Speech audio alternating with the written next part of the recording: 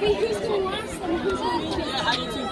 So, Berkeley and Annabelle have the same. Oh, most recent quickest score. Annabelle.